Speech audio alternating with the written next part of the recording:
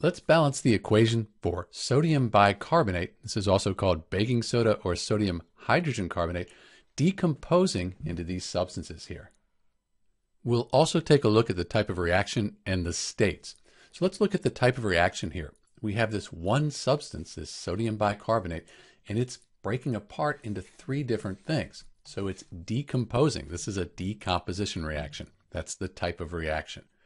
Let's balance the equation we have one sodium, one hydrogen, one carbon, and three oxygens on the reactant side.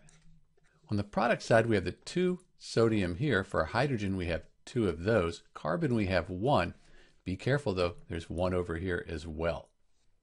So we have two carbon atoms. Oxygens, we have three plus one plus two. That gives us six oxygen atoms.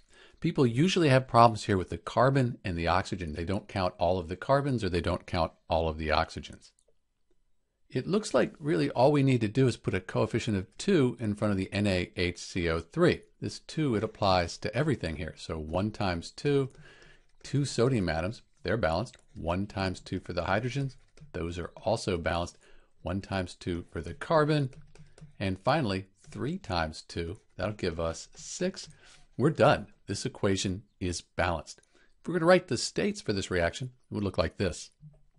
Do note for this decomposition reaction, often you'll heat this up, so your water might be a gas if it's really hot, at least initially.